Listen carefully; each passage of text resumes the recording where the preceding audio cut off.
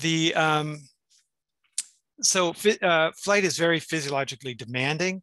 So for example, a bird like this is exercising about eight to 12 times its resting metabolic rate. So it's very intense exercise. And that's equivalent to about two times the maximum aerobic capacity of a similarly sized mammal. So something like a mouse um, can't come close to the type of exercise intensity that migratory birds are capable of.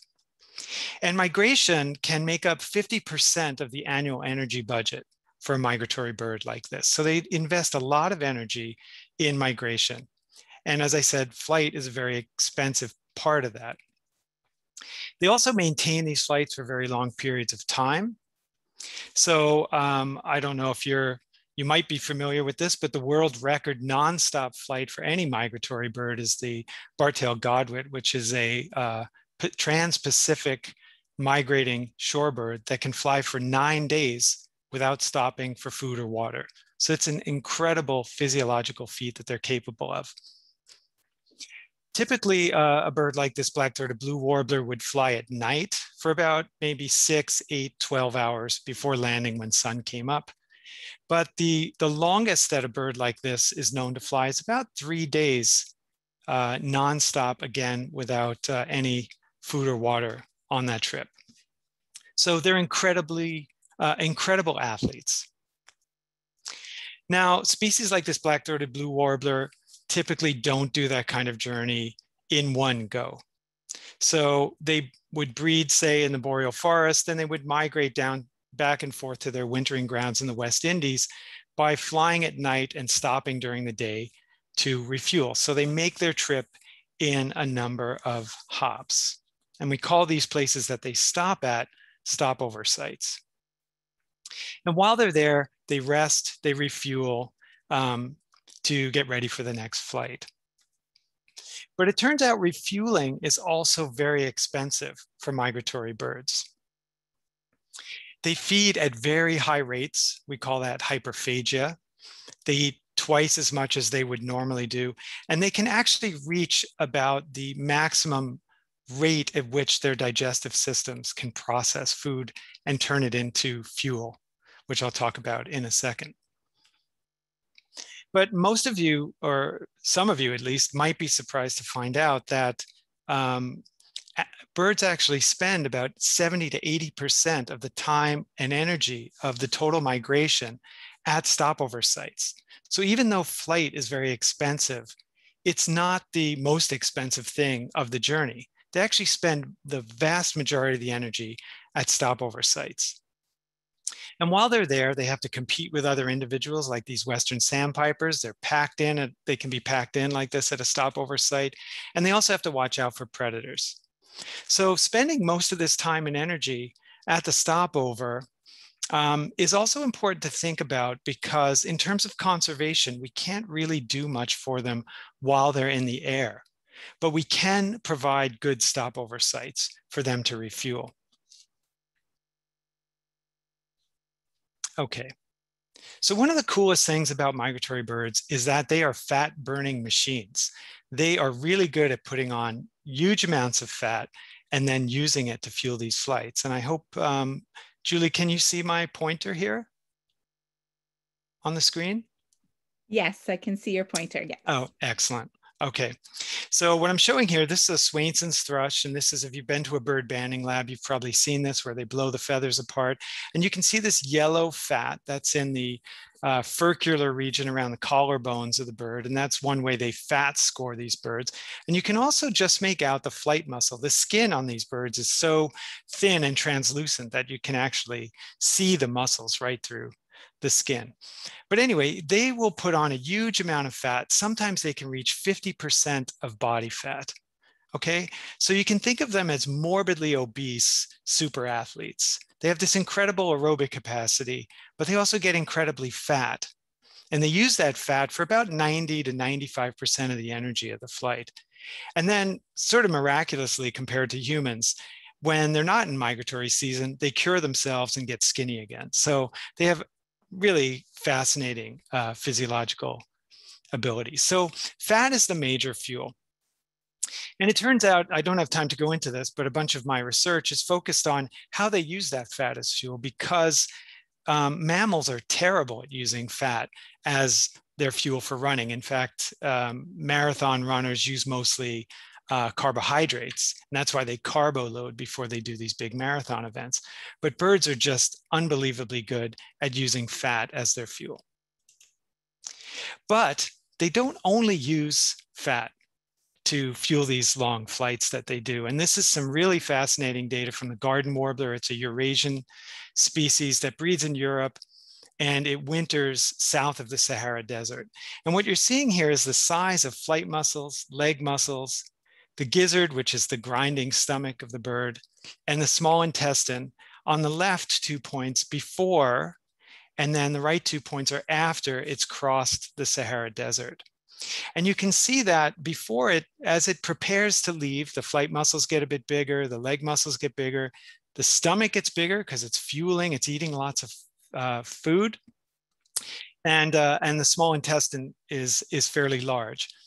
And after they make this uh, multi-day flight across the desert, they've burned up about 25% of their flight muscle and leg muscle, and even the heart can decrease by 25%. Um, but the gut really gets reduced. So the stomach and the small intestine and the liver can decrease by as much as 50% from their pre-flight weight. So birds break down their organs and muscles during these migratory flights. And I won't go into the physiology behind it, but essentially they can't burn only fat. They need to do things like make new glucose from their protein stores that are in these muscles and organs.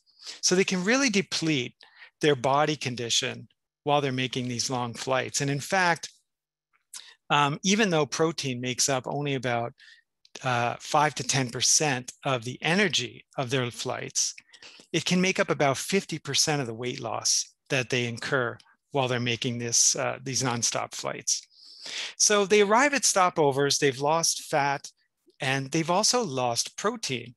And that's important to think about when we think about stopover because you can only rebuild protein by eating protein, which means they might need to find things like insects to get enough protein to rebuild their guts and their muscles before they can make their next journey.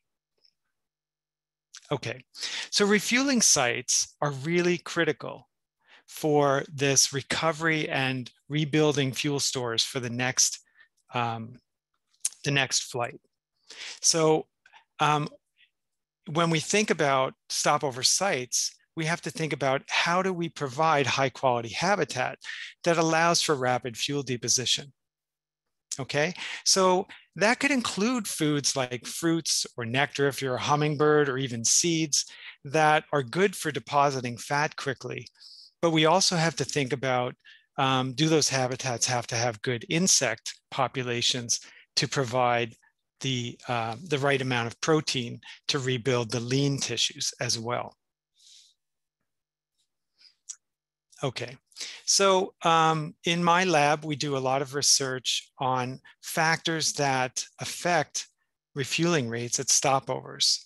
And we've been particularly interested in habitat fragmentation, urbanization, and the effects of invasive plants and how birds cope with these challenges in these human dominated landscapes. Because face it, um, there are no pristine, large scale pristine areas left for migratory birds to move through. So they're regularly faced with different types of, um, of habitats. So if you look at on the left here, um, imagine you're a bird flying over Southwest Ontario and the sun comes up and you're looking for a place to stop and you're looking down at this landscape and you see all this if you're a forest bird you see all this open territory well that's no good you see these different patches of forest some are little some might be hedgerows some like this might be a nice riparian area along a river well maybe that's a good place to get um, uh, good foods for, for refueling. And maybe big patches of forest are actually the best. But we don't really know a lot about what makes good stopover hab habitat. Are these little patches just as good as the riparian or, or big areas? Um, we've also done some work on urban environments. So this is a satellite view of, of Manhattan, um, New York City. So this is Brooklyn down here. This is Manhattan Island. And birds actually stop in big numbers. You know, if you've ever seen birding in Central Park, there's there's a lot of birds that pack into these urban parks. And um, you might wonder whether those make good habitat or whether they're ecological traps where um, birds will land but not be able to refuel. Um, we've also looked at invasive plants. So what I'm showing you here is in, in Arizona in the Southwest United States. This is a plant called salt cedar, and it tends to take over um, riparian habitats in the Southwest deserts.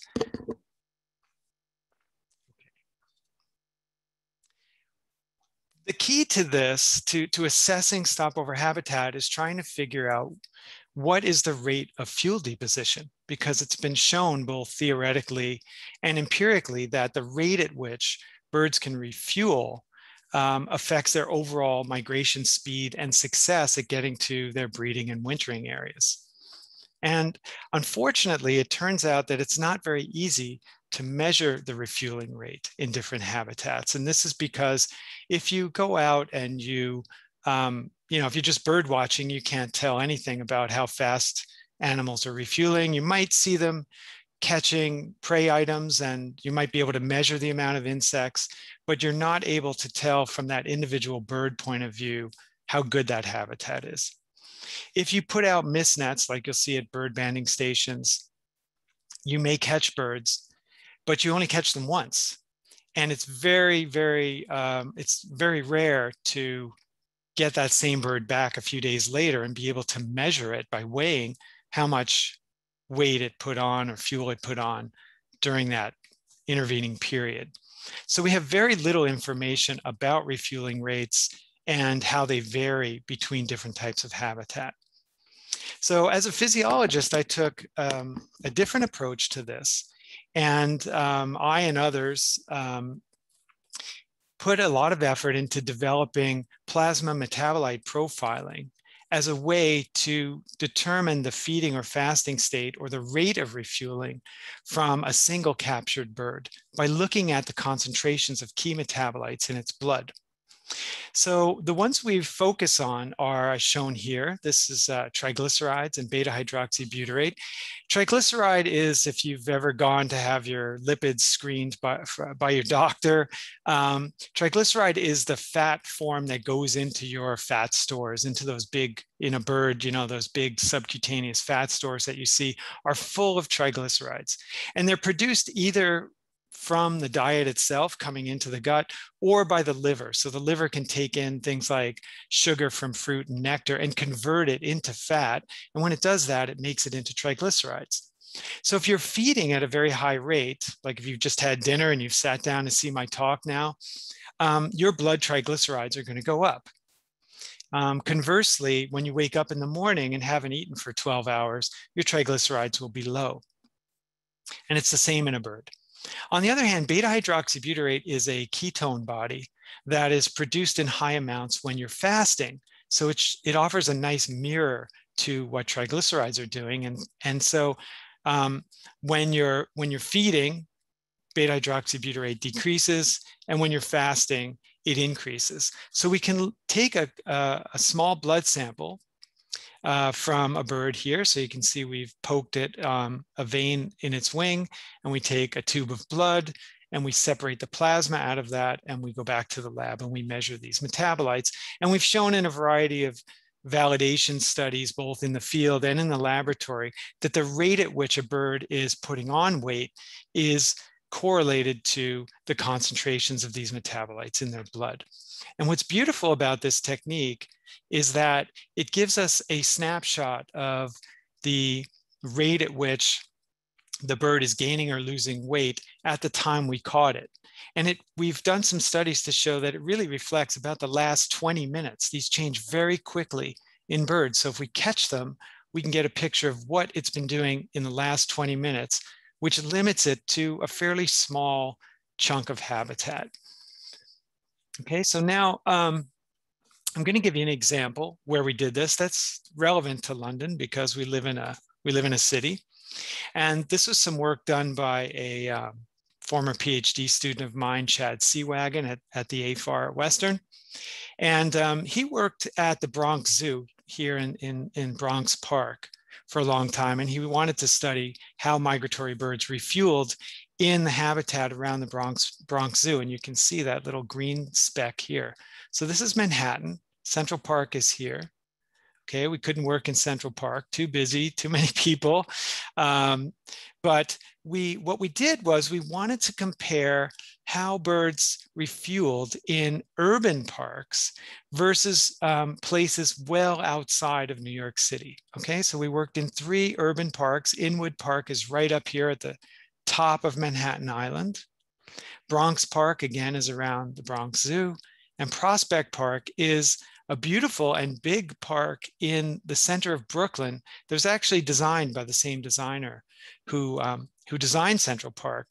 Um, so it's very similar in layout to Central Park, but um, we were we were able to uh, uh, do the work there.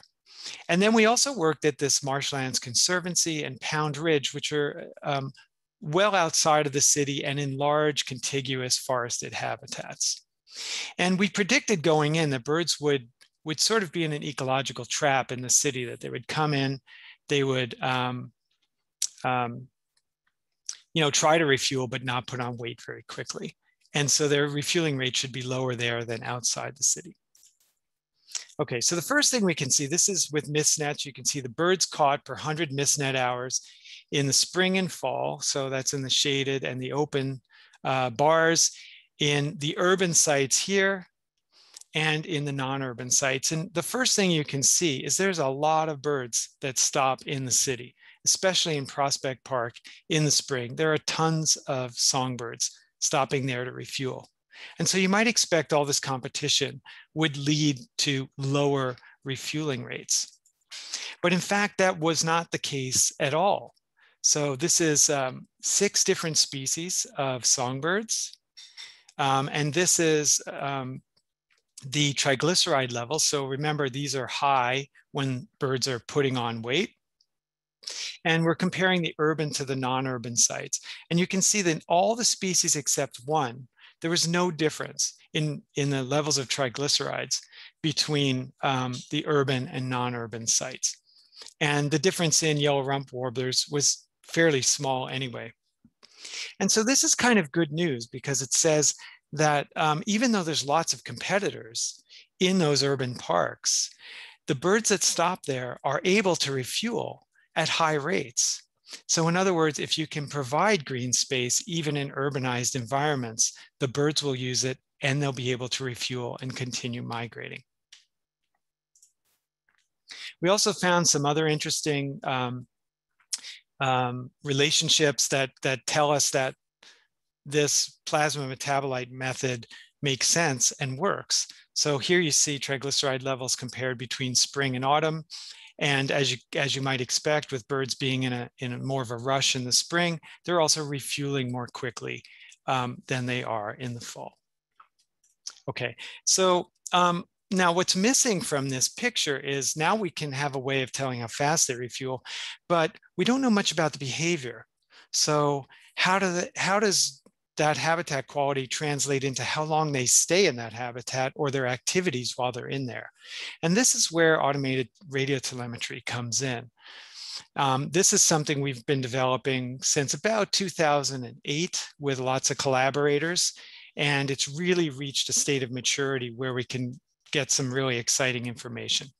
So automated digital radio telemetry, this is where we can put small transmitters, as you see here on a bird and a bat, they're very small now, about 300 milligrams, so they can go on the smallest migrants. Um, and what's interesting about them is they're, they all transmit on the same radio frequency, but they're digitally encoded, sort of like your cell phones. So we can detect hundreds and hundreds, up to thousands of tags all at the same time and monitor all those birds at the same time. We, um, we have automated stations that run on solar panels and they have multiple directional antennas. So we can tell which direction birds are coming and going from. We can detect birds from about 15 to 20 kilometers away um, in the air and about a kilometer or two on the ground. And so we get high temporal and geographic precision. As you can see, the tags are very small. And when we started out with this around Long Point, we started out with about five uh, radio station, uh, receiver stations, and we could see that it would work. But um, through a grant from the Canada Foundation for Innovation, a bunch of collaborators and I um, started what's called the Motus Wildlife Tracking System, which is now run by Birds Canada. And um, it's a cooperative system where researchers like me and other groups, conservation organizations can set up their own towers, maintain them, and tag birds and bats. Um, and since they're all on the same frequency, wherever my animal goes, if it's detected on someone else's tower, I will get that data and vice versa. And it's now grown into over a thousand of these towers in 31 countries around the world with about 900 different research groups and at least 25,000 tags have been deployed.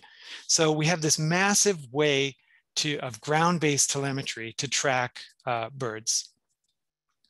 Okay, in Southwest Ontario, we actually have a quite good coverage of these towers. So you can see, especially around Long Point, um, and even in our region, we can get a good idea of the comings and goings of, of migratory birds, bats, and even insects now. So if you're interested in Motus, um, you can go to motus.org and find out lots of information about how it works and what kind of research people are doing with it. Okay, so I want to show you what we can do with this. This is some data from black-throated blue warblers shown here. You can see it's got a little tag on its back. And this is a record of its stopover near Long Point. Um, and this data is from Yolanda Morbey, a colleague of mine at, uh, at Western, who I work closely with. Um, and you can see what, what I'm showing you here are um, 13 days of stopover for this individual black-throated blue warbler. Um, the different colors are the, the radio signals from three different antennas, one, two, and three on one tower at Long Point. And what you can see is during the day, it's very active. And so the signal strength is bouncing up and down. And then when it goes to sleep, it becomes very steady. Um, and then the next morning it wakes up and it's active and then it sleeps and active. Okay, so we get a really good record of its activity, um, when it goes to sleep, when it wakes up, um, and eventually on the final day, when it actually departs and continues on its next migratory flight, which is um, really amazing to be able to see. And I'll show you that in a second. And we learn lots of information about activity at stopover from the Motus data. So one thing we learn is about the daily or the diel timing of waking up and going to sleep relative to sunrise and sunset. And so here's some interesting data from three species of warblers, black-throated blue, magnolia, and myrtle warbler in black, blue, and green. And what you can see, this is the distribution of when they wake up relative to sunrise. So it's about 20, 30 minutes before sunrise for each species. And what you can see is black-throated blue warblers wake up significantly earlier than magnolia warblers and myrtle warblers. So myrtle warblers are kind of the lazy ones. Um, and they, the myrtles actually go to sleep earlier. So this is when they go to sleep at the end of the day, and you, we see the same kind of progression. So we get information like that. This, um, we, Yolanda did a study and showed that um, birds actually change their, their sleep behavior on the day that they're going to depart. So they actually stay, some of them like this magnolia warbler and black-throated blue warbler, they stay up a bit later. This is the distribution of when they stop being active. They stay up later um, by about 10 or 15 minutes on the, um, the day that they know they're going to leave.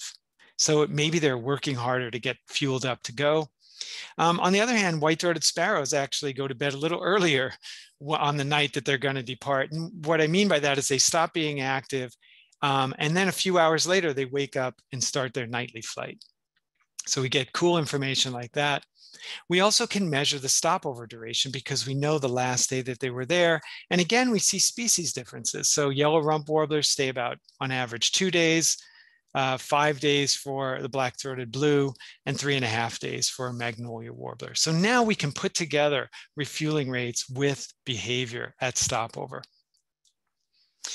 Now, in terms of a departure, this is uh, this is the a blow up of that last day of data for this black-throated blue warbler, and you can see here's the afternoon. It's it's busy. The signal strength from the radio is bouncing all around, and then it sort of settles down for about an hour or two. Right around this is 9 p.m. right here, so say around um, this is 8 p.m. A little after nine, and then it wakes up, and you see this peak in the signal strength, and then a, a decay. Because as the bird's flying away from long point, its, um, its signal strength drops off dramatically. So we know that's when the bird decided to leave. And then down here, these are other towers further north from Long Point. And you can see as it passes other towers, the signal strength goes up and then back down. It goes up and back down, up and back down. And so we can tell from that peak when it passed that next tower.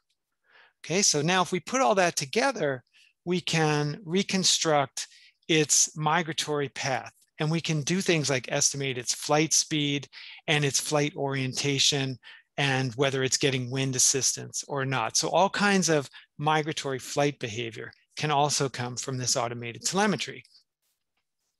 Okay, so here's three examples of um, um, of uh, some species we've looked at in spring migration, leaving Long Point. So here's black-throated blue warbler again, magnolia warbler, and myrtle warbler. And these are actual tracks of individual birds. You can see some go up to the Bruce Peninsula, some head over by Georgian Bay. Um, and from that, we can measure their migration speed, their direction, and we can even um, try to determine if they've made subsequent stopovers um, before they keep going. So um, now that's just our region, but as I said, Motus has thousands of towers now uh, all over the US and other places. And so um, Motus can also be used on a much larger scale. And this study in thrushes in Colombia showed that the fatter these thrushes were um, when they left Colombia in the springtime to head north, the more quickly they made it back to the United States and Canada. And this kind of data has never been available before for such small birds. I mean, with satellite tags, we could track large birds, but to be able to know the day um, a bird that was wintering in Colombia left, what its body condition was, and then how quickly it arrived back in the US and Canada is just a phenomenal achievement. Okay, so this data here on, on the right-hand side shows birds with um, um, low fuel stores versus high fuel stores. And the fatter they were, the more quickly they made the trip from Colombia to the United States and Canada. Okay, so I want to um, I want to turn uh, quickly here towards the end to uh, what we're learning about um, migratory uh, bats. So in North America, there are three, unlike birds where there's hundreds and hundreds of migratory species, there's three really long distance migrant um, bats, and we call them tree bats because they don't spend the winter uh, roosting together in caves. They like to be more solitary and roost in, in trees.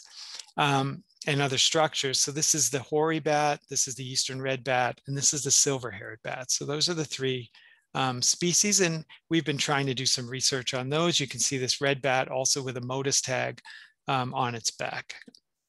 And um, uh, I can thank um, Brock Fenton at Western, who um, takes all these wonderful uh, photos of birds and bats for us. Okay, so when we, um, the thing about migratory bats is almost nothing is known about them. People don't study them. They rarely get caught. They're solitary, so you don't find them in big concentrations. We know they migrate mostly from museum records and other observations, but we really knew nothing about stopover. And when I arrived at Western now, uh, 17 years ago, um, we really didn't even have a spot where we could study them. And then Brock Fenton actually and some of his students discovered that Long Point is a stopover for migratory bats during very discrete periods in the spring and fall. And so we started to do some research on them, again with Motus and other, and other methods. So um, Now, what I want to show you, this is a distribution of stopover durations of black-throated blue warblers from 83 birds that were measured in the fall. And you can see that the average bird stays about four days. Some leave quickly, some stay much longer. And when we started putting radio tags on silver-haired bats, we thought, well, these guys are really going to probably stay a long time because they can only feed or fly at night. And so they're going to have to, you know, refuel for more days because unlike birds that can, you know, feed during the day and then fly at night, the bats are going to be more constrained. But what we found was that the bats don't stay long at all. Silver-haired bats, most of them, if you catch them near dawn in the morning, you put a radio tag on them, they roost all day. And when the sun goes down, they just pick up and leave. They may do a bit of feeding um, briefly before they take off, but they don't stay multiple days. And um, in this study, the ones that stayed longer, uh, like this, you know, stayed to the next day, was because it rained that night, and they really don't like. Oops, sorry, sorry. Okay, sorry about that. Um, just reminding me to wrap it up here. So um, anyway, what we discovered was they really don't spend much time at all. And these cases where they stayed longer were because uh, generally because it rained. And so we asked, why don't the bats stay longer? And we started doing some studies where we put radio tags on them that could actually measure their body temperature because what's different about birds, uh, about bats from birds, is that bats are really good at going into torpor and hibernating. So when they're under energy stress, they can drop their body temperature down to near ambient temperature and save lots and lots of energy. And so we discovered that's exactly what they, they do. And we coined this torpor assisted migration. So unlike birds, bats come in and um, if it's, if it's, uh, they become inactive during the day. And if it's cool enough, they just drop their body temperature and save on all that thermoregulatory cost that birds typically have to do. So what you're seeing here is the body temperature, the skin body temperature of um, silver-haired bat on a day here where it was 27 degrees. And this is a euthermic uh, high body temperature for the bat. And you can see this bat pretty much stayed at a normal body temperature through the day on a warm day. On 22 degree day, it dropped down into torpor for a bunch of the day. And then on a colder day, it went down into torpor and it stayed there for a long period of time. So basically, they adjust the amount of torpor they use to, um, to save energy so that they don't need to refuel the way birds do. Okay, and in fact, if you if you get lots of data on on these silver-haired bats, um, you find that they they they live on a nice budget.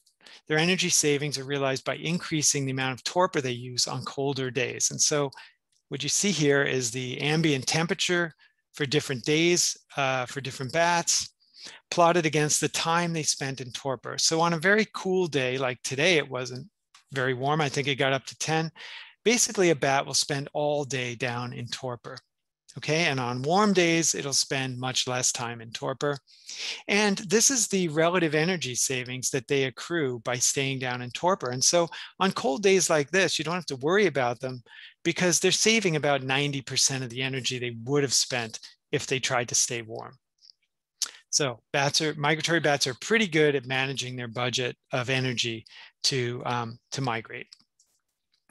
The other thing we've been able to do for the first time with migratory um, with migratory bats was to track their long distance movements, which never has been done before. And so you can see here um, bats that were marked at Long Point make long distance flights, go up through the Bruce Peninsula. And, and similarly in the fall, if we mark them up here, they come down through our region. So they really are making these long distance flights, just like, uh, just like migratory birds do. Okay, so I want to wrap it up there um, and just say that, you know, London is the forest city. It's got lots of great stopover sites, and I hope you're getting out to see them, uh, refueling and, um, and getting ready for their next flights. And we need to provide good stopover habitats for uh, these migratory birds as they, um, as they come through. And we need to mitigate threats like cats and window collisions to the best of our ability, especially during these migration seasons. The other thing is um, London and the surrounding area, because we have such a good coverage of Motus um, and the university here, offers a really good opportunity to do um, work on stopover in urbanized and, and rural environments. So with that, I'd like to thank uh, the organizations that fund and support um, my research and those of us at Western. So NSERC uh, Discovery Grants our federal, federal government grants. The Canada Foundation for Innovation has built a lot of the infrastructure, including Motus. And, um, and we also get lots of support from Western. And I'll end it with that and thank you for your uh, attention and um, my collaborators and students for uh, all of their help. Wow, thank you so much, Chris. That was absolutely fascinating. Um, I just loved seeing all that Motus data. I learned so much. Um, uh, yes, it was just truly fascinating. So thank you so much for your talk. Um, I will now open it up to questions. It looks like Cheryl has raised a hand. Did you want to turn your microphone on to ask your question, Cheryl? I'm not sure if that's a feature in webinar actually, but I don't know if you're able to, but if you're not, you can definitely type your question into the chat. Does anybody else have any uh, questions or comments for Chris? Can I see the chat actually myself here? I would have you liked to, to. I would. I would have liked to uh, to see myself when uh, when my alarm went off. That was pretty exciting. it was exciting. I, no, I, I, usually don't. I've never set my timer before while I'm giving a talk, so I didn't. I didn't remember that the alarm's actually going to go off. I was just looking at the number. no problem. It was it was wonderful. Like, I'm ah, sure what I happened. Probably woke sure up half on... half the audience too. no, I'm sure I speak on behalf of everyone that it was really interesting data. I'm wondering actually, was there anything specific that surprised you when you were first analyzing that Motus data? You know, anything that maybe went against something that was already believed about stopover patterns or migratory data? Um, well, you know, for for one thing, we've learned.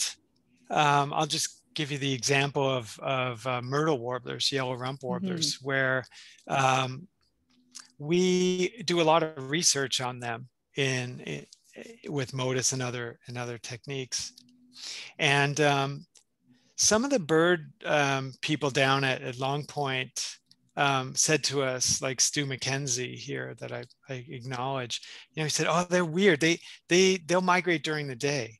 and we are like, no, no, no. songbirds, you know, they fuel during the day and then they go to sleep and then mm-hmm. they they wake up an hour or two after sunset and then they're going to migrate at night. And um, we've seen with with Motus that, you know, black-throated blue warblers, yeah, that and white-throated sparrows, they really migrate at night, and we don't see them leaving during the day. But white, but um, myrtle warblers, very often just take off and leave from Long Point mm. at like 11 a.m. Wow. We'll put radios on them. They'll stay for very short periods of time. And we, we think they are just sort of a partial, like a diurnal nocturnal migrant where they'll do both. Mm. Um, so yeah, we, there's, there's often surprises um, with Motus.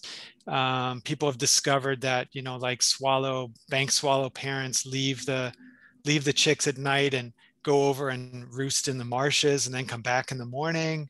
Oh, um, that's also interesting. Yeah. Yeah, like all kinds of really interesting movement behavior. Um, mm. The stuff about when they go to sleep and when they wake up is really fascinating. Um, oh, I found that as part really interesting. Yes. Yeah, because it's individually repeatable. You know, some individuals mm. wake up early, some go to sleep early, um, and then this thing that that Dr. Morbey discovered that they they changed that behavior. It what what it it showed for the first time is that a bird kind of knows in the afternoon that it's going to migrate that night and then still goes to sleep and wakes up and then leaves. Right? Just like if we were going on vacation and we might yeah. uh, you know you have a flight at midnight and you know and you plan ahead and yeah, yeah so there's like so this planning ahead and, and that Mhm. means hormonal changes that means you know metabolic changes are probably happening um, rather than what the the model we thought it was which is that they would they would wake up and assess the situation like are the winds good? They're really you know um, i'll come back to that but you know is it a good night to go? And then they um, and then they make the decision but it looks like they're making the decision earlier. And we know those decisions are also there's a very strong effect of, of winds which you know we know birds use wind assistance but we can see it in the Motus data that they're very selective of the of the wind condition that's one of the most important factors that determines when they leave um, so yeah there's there's lots of cool things you can pull out of that that Motus data so fascinating um, okay, I see a few questions have uh, come into the chat, and I apologize for the lawnmower sound. Hopefully, it's not too loud in my uh, uh, in my yard. Um, where is Doug wonders where is the best place around the London area for viewing migratory birds? Well, that's that's a good question. You know, believe it or not, I I mean I am a birder, but I am not the best birder. I live my life like working with birds. So, but I um because of the pandemic last spring, we started going out a lot more to local areas, right? And um, I just go down to Killally Meadows and if you're there on a good day, it's like, why are we driving all the way down to Long Point to go see these birds? I mean, the, there's just warblers everywhere. So um, we like to go to. That's Komoka. one of my favorite spots. Yeah, yes, Killally, Killally, uh, yep. uh, along Yeah, the Killally, river is good, um, but Killally, um, um, we go to Komoka. Is a great place. Meadow Yes. Lily. Um, I Yes. should say Westminster Ponds, Pond Mills. Uh, I, I would have Julie chime in here because she's a heavy duty bird. I agree with all those places. I think, um, well, going back to that uh, data you were also showing about how, um, you know, how uh, how many migratory birds are using urban spaces to refuel for their stopovers. Yes, like Killally is one of my personal favorites. Last spring, I had an experience where I was there on a day where the trees were dripping with warblers, as they say, when there's just so many warblers and they're nice and low there because they like the That's shrubby right. bits on the path alongside the path. Uh, Westminster Ponds is another favorite of mine, um, and Komoka. I love Komoka Park as Yeah. well. So you named some of my favorites. Yeah, I mean at Um, we don't have to go too far. Yeah, at Killally, you know, we were like, you know, you're like eye level practically with Parulas, which are normally way up in the canopy. So Yes. it was just it's just fantastic there. Yes, I Let's agree. get to It's some more one of my questions here. Um, so, do birds also need to sleep during the day when they stop over? Mhm. Um, sorry, this is from Gail. Uh, Mhm. She saw a wren sleep at my bird bath for most of the day. you know they can um, if they if they're really tuckered out they can and especially these long migrants like um, you know like i've said these shorebirds that fly for days like a week without stopping they often they'll arrive and drink first and then go to sleep. Um, so yeah sleep is very important. Birds um, actually have been shown to have a, an, a one, an ability to do what's called unihemispheric sleep, where they can sort of let one half of the brain sleep and then it wakes up and the other half wa- um, goes to sleep. Um, and we think they might even sleep while they're flying because, um, you know, nine days without doing any sleep um, seems pretty impossible. So, um, and there's also, um, it's been shown that swifts, uh, uh, European swifts, stay on the wing for like 200 days without coming down. They only come down to nest. And um, so most of the year they're just in the air and, and it looks like in their radio tracks, they go up to a few thousand meters and then do these long, slow glides where they sleep on the wing. So you, it's been seen that um, even during the day, birds, you'll see one eye close and the other eye's open, and that seems to indicate the unis, unihemispheric sleep.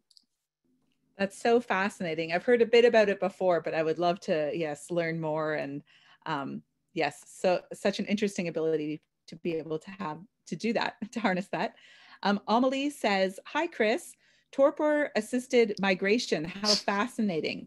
Any idea how costly arousal from torpor is?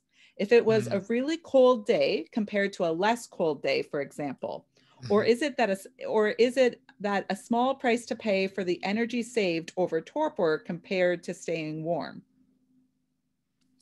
The the the arousal is the most expensive thing um, to uh, to do um, so when they come out of torpor, they they're burning a lot of energy to do that. But the calculations we made there included a um, a cost of uh, rewarming yourself for the bats. So when mm. I showed mm. that data, I, will zip back up here. Um, this data of the energy saved included the the arousal that the that they went through. And so on a cold day they're still able to save about 90% of their energy that they would have spent if they tried to stay at, at 37 or 40 degrees celsius all day long. Right.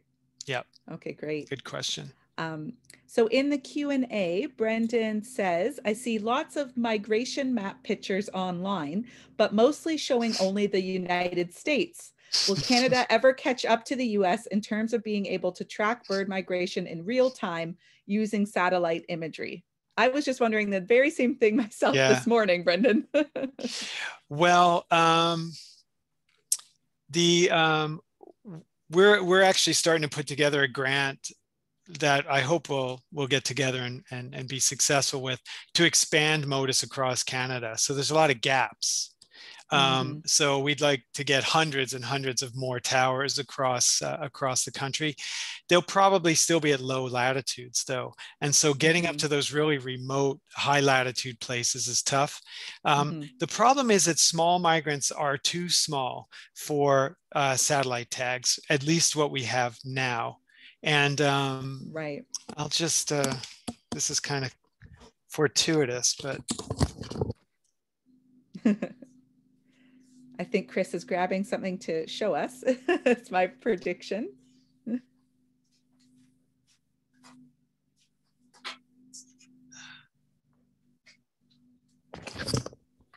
You guys get the spe- the special show tonight. So what I can say is that the technology is coming.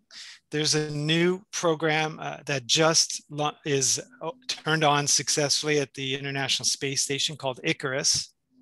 It's a receiver on the space station at low altitude, and it's designed to detect small tags on small migrants. And I just received on Friday my first Icarus tag. So wow. this is a this is a four gram satellite tag. It records altitude, temperature, um, magnetic orientation, activity level, and GPS position. And it's solar solar powered and will last the life of the of the bird. We can put that on. And wow. um, now this tag is is about four grams. That still can go on about a hundred gram bird, mm-hmm. um, but they are aiming for a one gram tag, and right. it, within the next uh, and and and so and other satellites in low orbit. So um, you know it's coming. I would say within a decade we're going to be tracking things like sparrows and such that can mm-hmm. carry a, a one gram tag. And once we have that, um, then yes, we will get, we will be able to get tracks um, of our birds moving up into places like the boreal forest. Fantastic. Um, Rob is wondering, do the birds fly together or do they go individually? That's a great question. Yeah, now that just depends on the species. So things like um, Sorry, that was my, yeah, just leave that. Mm-hmm. Um, you know, things like waterfowl and shorebirds will fly in flocks. Most mm-hmm. of these nocturnal migrants fly um, on their own. Mm-hmm. So they make their own departure decisions and they fly on their own. And that includes juvenile birds making their first migration. Their parents don't lead them from the breeding areas to the wintering areas. Mm. It's all innate for songbirds. Um, but that said, they do um, they do make these flight calls while they're flying, and it's thought that so there are special notes that they sing while they're flying along, mm-hmm.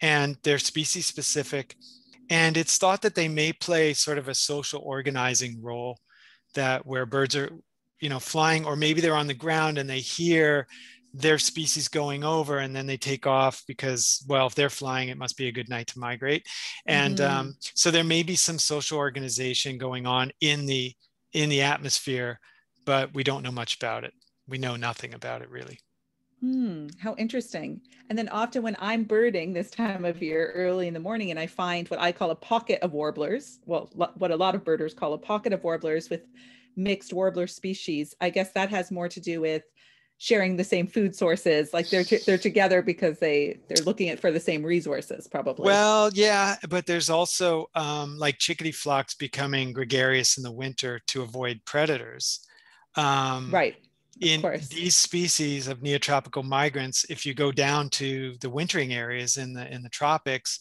you'll see mixed species foraging oh flocks. okay so like our will, resident birds do that's yeah. yeah and so they hang out together on the wintering areas and we'll go around together and even with um, some of the non-migrant species that also live down there. And so they mm-hmm. they that increases the vigilance. Mm-hmm. um, of course. yeah. So okay, um, yeah there's some social stuff going on. I look forward to hear or finding out more about that once we know more too. Um, so david says is there any indication of any birds that might go into short-term torpor during migration yeah, that's a really good good question. Um, torpor, certainly hummingbirds. Um, mm. Hummingbirds are known for going into deep torpor, just like bats, and and they do it as an emergency. Um, in the in the, we just did a study on this actually at the AFAR um, with some collaborators from uh, University of Toronto, Scarborough, uh, Ken Welch and Eric Eber, Eberts. Um, and we looked at ruby, th- ruby throated hummingbird, ruby throated hummingbirds, and what what they found was that in the summertime, they will go into torpor at night if they have low energy stores. So if they mm-hmm. if they're running out of fuel, they just go down into torpor. But in the late summer, they totally turn off that that physiological regulation system and they will go into torpor even if they're fat Mm. And hmm. so what that allows them to do is they put on fat during the day and then they drop down into torpor, even though they don't need to, and they save that fat. And that allows them to, to fuel up very quickly. So hummingbirds mm. are definitely do that.